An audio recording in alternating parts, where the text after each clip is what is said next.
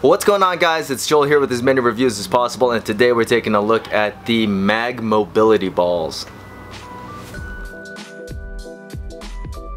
Alright guys, so at first glance these might just look like normal lacrosse balls but there is actually a hidden secret to them and that's that they attach together.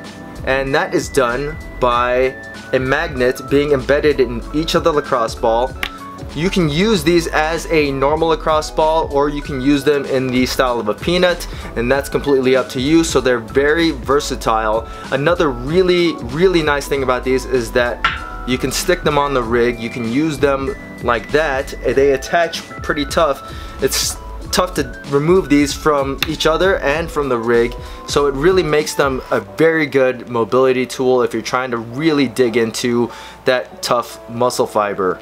Another way that you can use these is by sticking them onto a barbell and using the weight of the barbell to help you mobilize.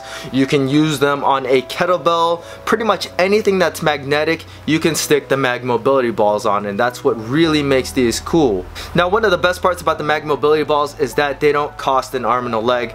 The pair of the balls only retails for $20 and sometimes mobility items are a little bit outrageous as far as the price goes but I feel like this is pretty realistic uh, for what you're getting. It's one of the cooler mobility products on the market. Granted, it is just two lacrosse balls that have magnets in them. It's done really well and they are actually effective tools to help you mobilize. If you guys have any questions about the Mag Mobility Balls, feel free to leave them in the comment section. And as always guys, please hit that like button, subscribe, and thanks for watching.